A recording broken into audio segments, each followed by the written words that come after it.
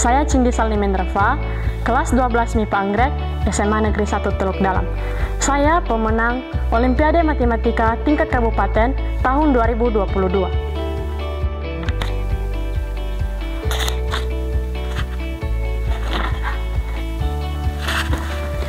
Halo teman-teman, perkenalkan nama saya Stefani Renita Karolin Jagete. Saya kelas 12 MIPA Anggrek SMA Negeri 1 Teluk Dalam. Saya sebagai pemenang Olimpiade Fisika tingkat kabupaten tahun 2022 dan tahun 2023. Halo teman-teman, aku Elvira Maduhu, kelas 12 IPA Anggrek di SMA Negeri 1 Teluk Dalam. Aku pemenang FLS 2N bidang monolog tingkat provinsi tahun 2023.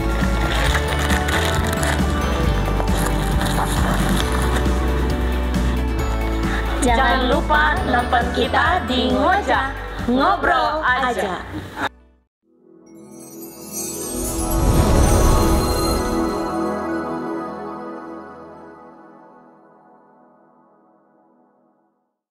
Oke, kembali lagi di Ngoja bersama saya Domeswau ngobrol aja. Kali ini kita kedatangan tamu adik-adik kita yang berprestasi di SMA Negeri 1 Teluk Dalam.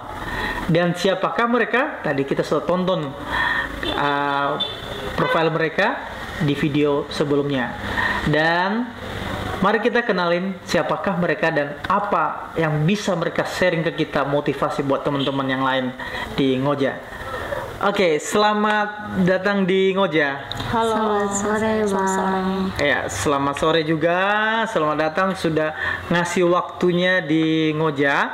Dan kami sangat berterima kasih walaupun sudah sore nggak lapar. Uh, Sudah makan siang. Sudah makan siang Iya. ya. Oke. Jadi sudah kami sita dan saya mau kasih tahu Ngoja itu ngobrol aja. Dan kebetulan kita juga ada biasanya, biasanya ya. uh, Ngoja itu identik dengan ngopi aja. Nah, karena kita lagi di sekolah, nggak mungkin kita ngopi. Nah, jadi maklum ya, nggak ada ngopi ya, nggak apa-apa kan? Oke, jadi kita langsung saja. Kamu siapa dek? Oh, kenalin dulu ya. Tadi walaupun sudah di uh, ada di video sebelumnya, tapi kenalin dulu sama teman-teman Ngoja. Halo teman-teman Ngoja, perkenalkan nama aku Elvira Maduhu, biasa dipanggil Vira. Nah, aku itu pemenang lomba FLS2N atau Festival Lomba Seni Siswa Nasional. Dan puji Tuhan meraih juara tiga di tingkat provinsi bidang monolog. Nah, kalau teman-teman pengen tahu nih monolog itu apa, nanti kita sharing. Oke, keren sekali. Oke, lanjut sama si Cindy. iya. Ya. Halo teman-teman Ngoja, perkenalkan nama saya Cindi. Eh, akrab di eh, nama lengkapnya Cindi Salni Mendreva. Jadi eh, akrab dipanggil Cindi. Oke, jadi saya sebagai pemenang eh, Olimpiade Sains Nasional tingkat kabupaten dalam bidang matematika, yaitu di tahun 2022. 2022 eh, khususnya di tingkat kabupaten selatan. Ah, Oke, mantap sekali. Lanjut. Halo Sobat Ngoja, perkenalkan nama saya Stefani Renita Karolin Jagata. Saya sebagai pemenang Olimpiade Fisika tingkat kabupaten tahun 2022 dan tahun 2023. Oke. Terima kasih sudah memperkenalkan diri. Jadi kayak kita kayak kaku kaku banget ya. Ah, Oke, kita langsung saja ke pertanyaan yang yang mana buatku ini sangat termotivasi buat teman-teman yang nonton nanti mau jadi ah, kalau sudah diupload ya di YouTube. Nah, jadi tadi apa seni ya monolog ya. Seni monolog. Nah ini ceritakan dulu ke kita kawan-kawan ngojek apa itu seni monolog. Kita satu-satu ya. Iya, boleh. Oke. Halo teman Ngoja. Jadi FLS 2N itu adalah Festival Lomba Seni Siswa Nasional. Nah, di- disingkat FLS 2N. Di FLS 2N ini teman-teman ada beberapa bidang lomba. Salah satunya adalah monolog yang aku wakili ke provinsi dan puji Tuhan mendapatkan hasil yang baik. Nah, teman-teman pasti bertanya-tanya nih, monolog itu apa sih? Nah, jadi teman-teman, monolog itu sama seperti kita bermain drama. Bedanya, ini hanya diperankan oleh satu orang saja.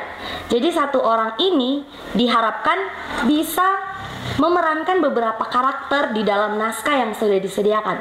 Contohnya sebagai ibu, kemudian kembali lagi sebagai anak, bisa juga sebagai bapak di dalam satu waktu. Nah, juga itu dituntut kreativitas dan imajinasi yang tinggi di dalam properti yang digunakan pada saat memerankan naskah yang sudah disediakan. Contohnya nih teman-teman, ketika teman-teman diberikan naskah berada di sebuah lingkungan sekolah dengan uh, tanaman yang indah di sekitarnya tetapi hanya disediakan panggung yang kosong di situ teman-teman harus bisa berimajinasi bahwa teman-teman berada di taman sekolah yang indah nah kemudian juga teman-teman ini monolog ini tidak hanya sekedar memerankan saja tetapi bagaimana kita bisa menyampaikan isi atau pesan yang penting kepada penonton atau audiens dengan baik melalui dari ekspresi kita, cara kita bergerak atau bahkan naskah yang kita ucapkan. Oke, okay. kayaknya ini ini uh, anak sastra ini. ya sama kayak saya, saya sastrawan. Oh, iya. Ya, saya juga anak sastra ya. Jadi sama-sama pas disampaikan tadi monolog segala macam tentang drama, aku sudah imajinasikan apa yang sedang kamu kerjakan di waktu Olimpiade itu. jadi nggak salah ini berarti kawan-kawan kami nanti inilah. Oke, okay, jadi langsung lagi ke Cindy. Oke, okay, Cindy kamu kan fisika ya? Enggak. Ah, matematika sorry matematika nah apa yang membuat kamu suka matematika itu kan hal yang sulit ya yeah. kalau kami orang sastra itu ber, berimajinasi sudah bisa. Hmm. Ah, kalau ini kan harus yang pasti-pasti. Iya, yang pasti. Ah, jadi kenapa ya agak susah? Uh, Oke, okay, teman-teman Goja, jadi saya akan berbagi sedikit pengalaman mengapa saya bisa menyukai uh, hal yang sangat dibenci oleh banyak orang. Iya betul betul. Ya oh, matematika ini kan yang seperti yang kita kenal orang-orang beranggapan bahwa matematika itu sulit jadi buat apa dipelajari. Tapi justru saya e, berpikir sebaliknya. Memang awalnya saya sewaktu SD itu e, sangat tidak menyukai matematika, layaknya e, orang pada umumnya. Bahkan saya pernah mendapatkan nilai ujian itu nol di kertas saya. Tapi uh, semenjak masuk SMP saya mulai termotivasi, mulai tertarik untuk mempelajari matematika. Kalau menurut saya sendiri yang mempengaruhi uh, minat dan ketertarikan saya itu ada banyak hal. Pertama, mulai dari uh, diri saya sendiri itu uh, pengaruh itu bisa saya dapat dari motivasi dan uh, minat yang saya miliki dari dalam hati saya sendiri. Nah, kemudian yang kedua itu adalah dari lingkungan. Contohnya adalah uh, guru yang mengajari. Jadi guru yang menarik juga akan memberikan motivasi dan uh, minat kepada siswa yang diajarinya. Kemudian yang ketiga yaitu mindset kita. Bagaimana cara kita uh, menilai sesuatu. Contohnya di matematika ini. Jadi jangan kita jangan berpikir bahwa oh matematika itu sulit. Jadi untuk apa tuh dipelajari? Toh nggak ada gunanya nanti. Uh, saya tidak berpikir begitu. Jadi ketika saya mendapatkan kesulitan di matematika, saya berusaha uh, mencoba mencari jalan keluar. Kalau saya tidak ketemu jalan keluarnya kayak rasanya nggak puas gitu. Nggak afdol ya. Iya. Jadi uh, tips menyukai matematika itu uh, pertama ubah mindset, jangan uh, berpikir bahwa matematika itu sulit. Coba mulai dari titik uh, nol untuk menyukai matematika. Tapi saya sudah udah ini, saya sudah sering kali uh, belajar dari nol, nggak bisa. Makanya saya masuk sastra. Oke, okay, uh, ada lagi? Ya, kemudian tips lainnya ya uh, mungkin uh, cintai juga guru yang mengajarinya. Cinta tinggal mesti uh, harus kita uh, sukai benar-benar, tapi um, bisa berpikiran positif terhadap uh, guru tersebut sehingga apa pun yang diberikan oleh guru akan kita sukai juga karena kita sudah menyukai gurunya terlebih dahulu. Oke. Okay. iya, Berarti selama ini berarti kita ini ini ya anak sastra nggak suka ini ya nggak cinta guru guru matematika maksudnya. Bukan seperti itu bang. Oh ya. berarti kita harus tetap mencintai guru iya, kita ya. Iya. Oke. Okay. Selanjutnya ke uh, Elvira ya. Stefani. Uh, Eh, Stefani, ya oke, eh, Stefani. Kira-kira kenapa suka fisika? Ini paling sul- susah juga. Dulu waktu saya SMA, kebetulan juga saya alumni sini, alumni eh, SMA Negeri 1 dan jurusan IPA juga. Nah, fisika ini ini paling mata pelajaran yang paling saya nggak suka. Masih mending matematika. Iya. Tapi kalau fisika ini ada bercampur dengan lagi. Iya, kira-kira kenapa suka? Dan ini kan bisa masuk kejuaraan ya. Kejuaraan berapa tadi di kabupaten? Kabupaten. Iya. Juara satu Iya, di kabupaten. Nah, itu bukan hal yang gampang ya. Iya. Apalagi kalau kami se- seperti yang saya bilang tadi, saya anak IPA tetapi benci nih sama fisika. Nah, jadi kira-kira kenapa ini suka fisika? Eh, sebenarnya mirip-mirip sama teman Cindy tadi. Oke. Matematika kan mirip-mirip nih pelajaran fisika dengan matematika karena tentang perhitungan. Cuman bedanya ini fisika lebih rumit, lebih ribet dan eh, banyak turunan rumus lah. Sedangkan matematika itu kan cuma satu rumus. Kalau fisika gabungan dari berbagai rumus. Ada dan lagi dari- teorinya, teorinya. Iya, teori eh Teorinya. Eh, jadi sebenarnya saya nggak tahu kapan saya suka dengan fisika. Namun sebelumnya memang saya terlebih dahulu sukanya dengan matematika dan IPA, pelajaran IPA. Jadi eh, karena matematika saat saya mengerjakan matematika itu timbul suatu kepuasan tersendiri ketika eh, menjawab soal tersebut dengan benar atau eh, dapat jawabannya gitu. Terus eh, kalau fisika ini kapan gitu? Jadi setelah eh, saya mempelajari matematika, saya pengen mengupgrade mengupgrade diri untuk belajar yang lebih sulit lagi. Jadi saya coba belajar eh, fisika gitu. Dan eh, pertama kali saya pelajari fisika, nggak tahu kayak ada kecintaan gitu dengan pelajaran tersebut. Jadi saya mulai mencintai pelajaran tersebut dan mulai eh, bertekun eh, untuk eh, mempelajari mulai dari latihan latihan soal, eh, melihat video di YouTube dan eh, intinya saya benar-benar in- interest kepada fisika ini. Oke, jadi setelah kelas 10 jadi pemilihan peserta OSNK, jadi ibu eh, matematika, guru matematika saya itu rekomendasian saya ke Olimpiade Matematika. Tapi benar-benar saya tolak gitu. Tapi di- saya dicuri sama ini. Lewat belakang? Enggak. Enggak, enggak. enggak, enggak. karena beda kelas, waktu kelas 10 beda kelas. Oh. Jadi eh, guru matematika ini belum pernah masuk ke kelas mereka. Ke kelas Jadi eh, guru saya ini merekomendasiin saya untuk ke pelajaran matematika. Katanya kalau saya memang berpotensi di situ. Di situ. Tapi nggak tahu saya tolak gitu karena saya udah benar-benar punya hatinya itu di fisika gitu. Oke. Saya punya hatinya Siap, di fisika.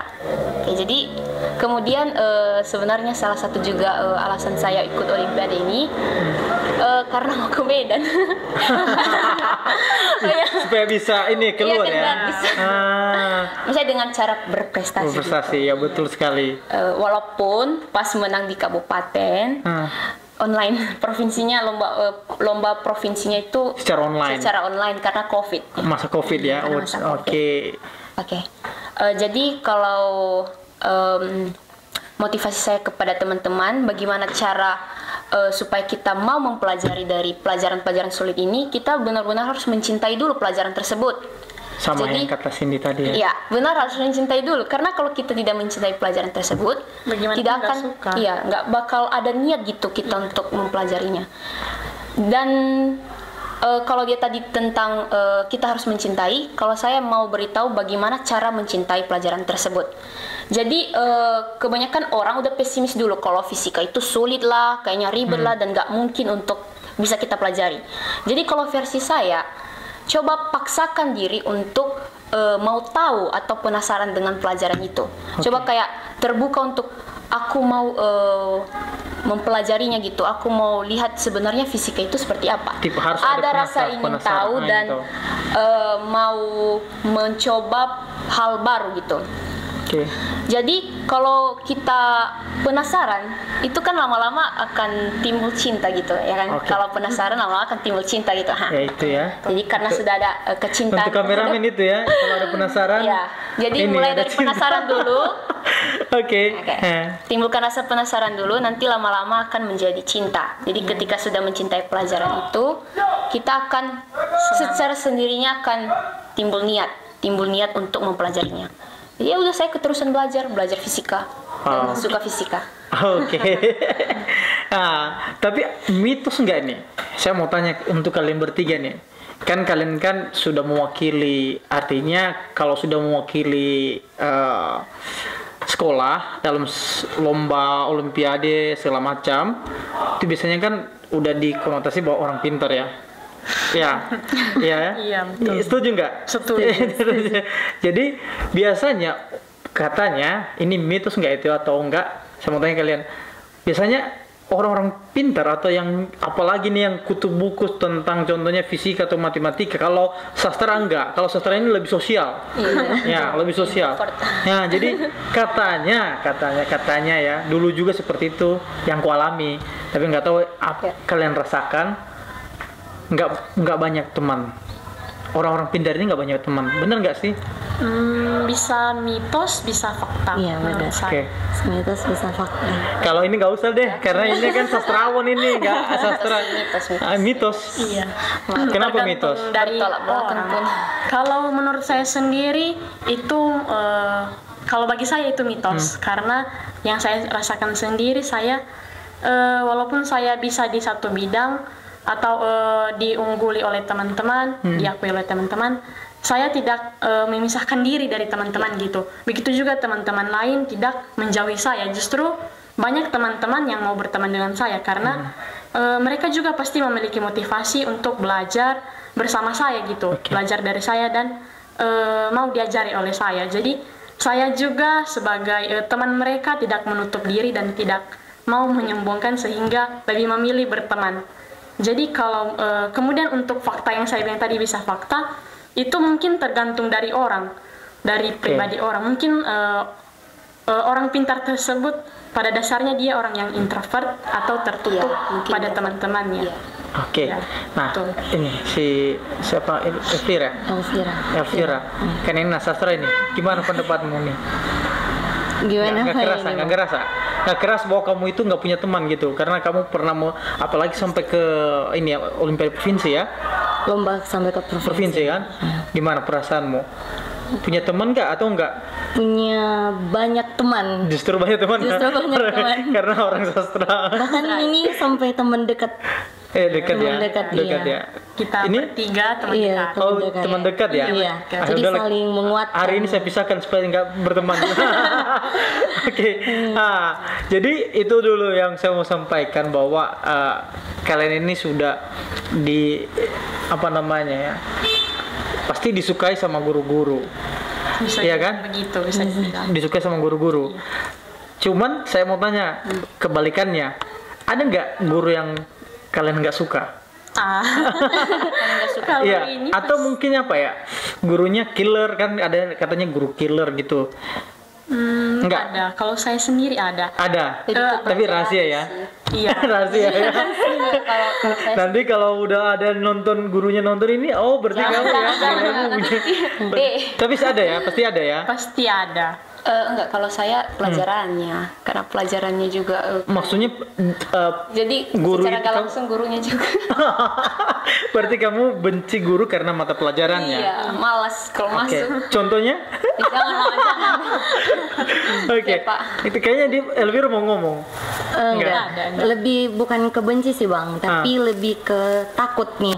Kalau gurunya tiba-tiba nanya, tapi aku yang belum siap nih sama pertanyaannya, jadi Di situ. ya timbul yang takut. Aduh, jadi ngeri banget guru ini gitu. Oh, Oke, berarti kamu suka matematika juga?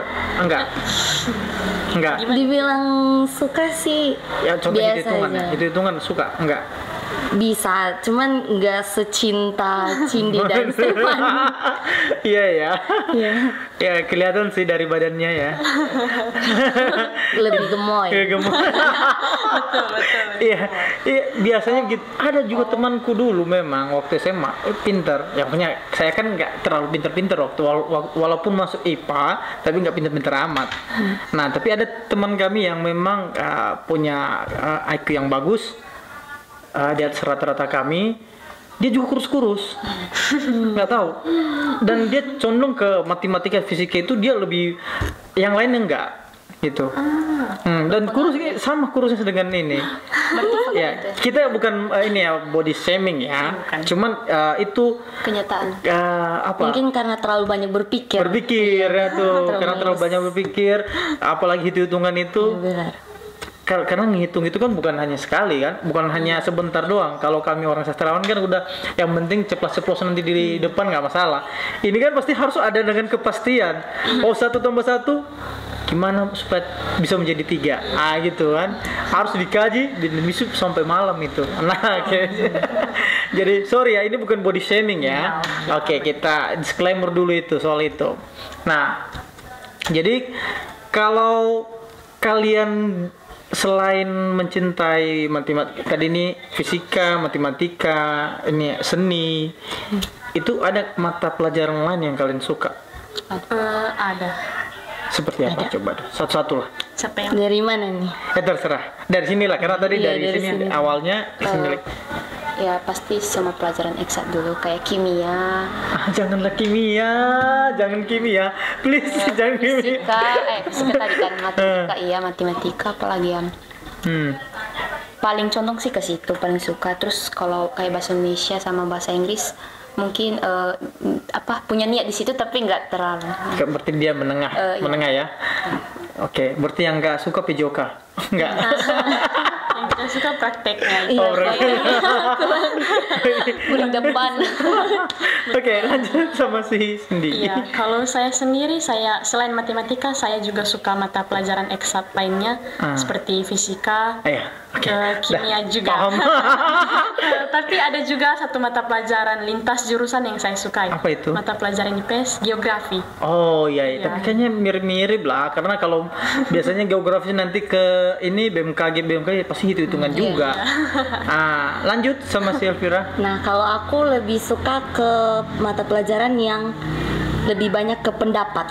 Nah, seperti PKN, Ah, sejarah, bahasa Iya. Indonesia gitu. Jadi eh, ada nih guru ngasih pernyataan nih, bagaimana menurut kamu gitu. Oke. Nah, aku paling kuat nih, aku aku aku mau ngasih pendapat gitu. Jadi intinya kalau paling ketika tahu kalau kuliah dia nah ini karena sastra kayak gitu tuh. paling suka sama pelajaran Iya. PKN nomor Iya. satunya. Simple ya. Iya, karena juga suka ke depannya menghafal. pengen itu. Suka menghafal berarti. menghafal bukan ma- menghafal mati sih bang maksudnya aku tahu nih intinya dari ini kemudian aku bahasakan Kembangkan sendiri. sendiri. iya benar Ah, jadi oke. lebih ke PKN karena jurusan ke depannya juga pengen ke hukum Oke. didoain ya teman-teman Oh hukum ya? iya pengen oh, hukum tadi mau jadi sastra. Aduh. hukum, saya English literature. Jadi sastra Inggris. Nah, kebetulan. Itu sebelum menghindari fisika kimia tadi.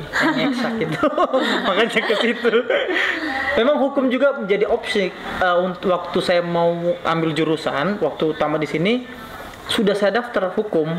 Cuman pas nyampe di sana kayaknya hukum terlalu berat sama saya. Udahlah masuk aja ke ini sastra, lebih ring. yang penting nggak ada hitung hitungannya nah, itu aja. Oke eh, saya juga mau nanya nih ini kan pencapaian kan kalian kan ada yang ke provinsi ini sekabupaten itu berapa orang yang eh, saya mau tanya dulu dari fisika mana yang di fisika ini berapa orang yang ikut peserta di dalam lomba tersebut yang fisika kalau dari sekolah tuh Iya enggak, yang seluruh ini sekabupaten kan? sekabupaten Waktu lomba fisika itu berapa peserta? kurang tahu sih Ribuan. iya banyak ribuan. Ribuan. Seribuan lah, seribu. kalau iya, per mapel. Sekolah di Kabupatennya Selatan Nila sekolah-sekolah yang di Kabupatennya Selatan Nila saingannya Saingannya. Iya, maksudnya oh, kamu nggak tahu berapa Iya, jumlah tahu, pesertanya? tahu. Pasti. Oke, sama? Iya sama sih, cuma kalau waktu itu eh, kita kan online Hmm. lombanya waktu itu, jadi eh, digabung sama eh, datanya itu digabung sama satu provinsi, jadi jumlah satu provinsi itu seribuan lebih tiap mapel. Oke. Jadi tapi yang ditanding itu eh, di satu kabupaten aja. Oh, Oke, sama? Eh, berbeda sedikit kan Oke. ini lebih ke lomba yang lain. Jadi ini kan seperti yang sudah aku bilang dari awal beberapa bidang di FLS Hmm. Nah khusus untuk monolog itu diharuskan syaratnya satu perwakilan dari setiap sekolah.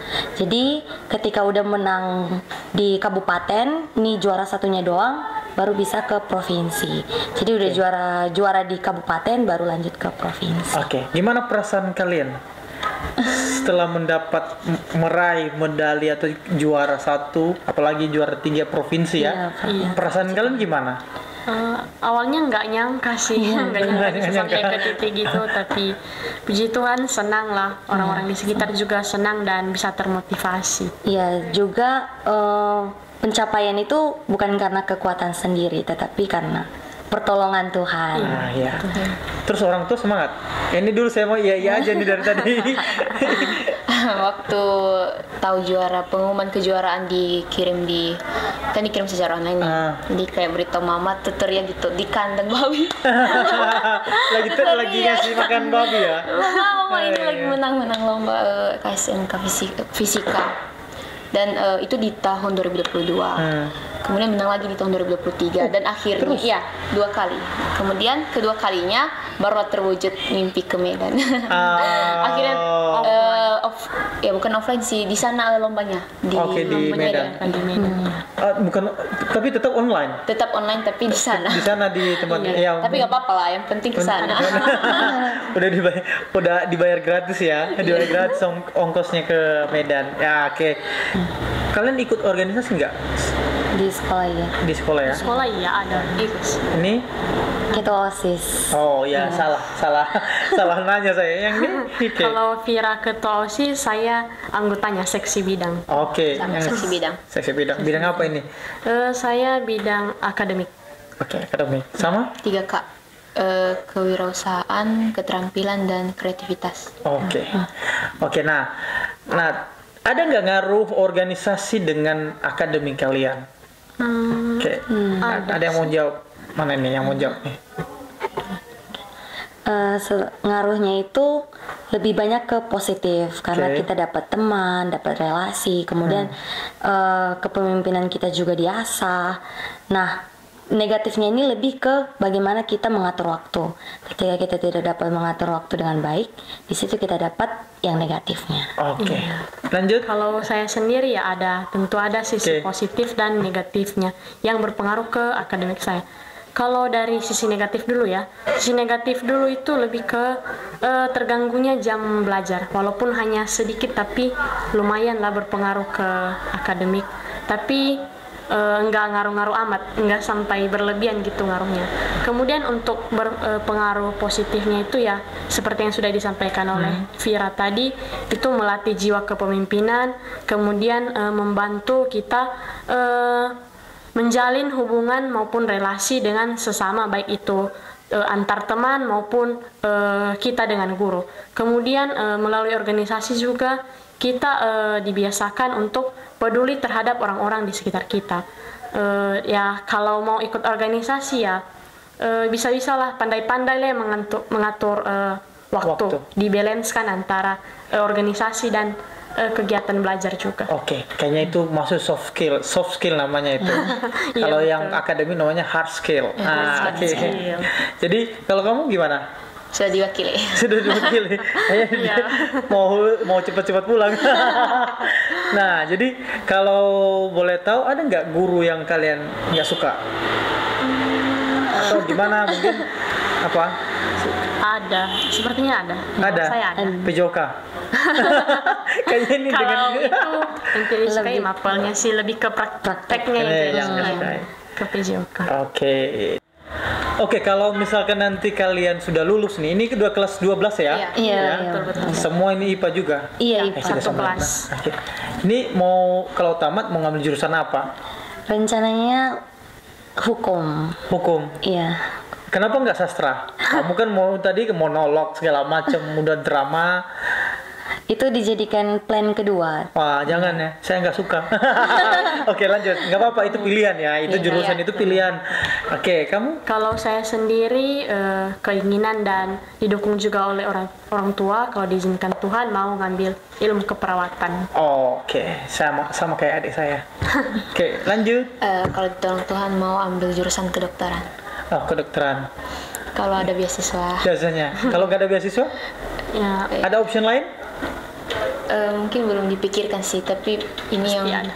ya paling dikejar dulu ini, yang cita-cita yang paling utama dulu. Oke, yang penting tetap semangat ya Dan berdoa. untuk mencapai itu karena ini, biasanya kedokteran itu saingannya juga banyak. Iya, betul. ya. Sulit lah. Sulit ya kalau mungkin sulit tadi karena ada sedikit eh, pintar-pintar di apa namanya tadi akademik ini Iya. buat saya sih masih bisa, cuman saingannya ya Iya, karena bukan hanya kita yang pintar di sini, pasti ada juga Banyak lawan kita di luar sana. Apalagi di provinsi kalau ada lagi beberapa provinsi yang masuk ya udah. Tetapi tetap semangat ya untuk mencapai itu deh. Ya jadi terima kasih sudah uh, mau uh, bersama kami di Ngoja dan sudah meluangkan juga waktunya. Oke. Uh, kita berharap kalian kelak menjadi orang-orang sukses. Amin. Oke, amin, amin ya. Oke, jadi teman-teman jangan lupa tonton Ngoja, ngobrol aja dan tonton terus Ngoja. Bye bye. Bye.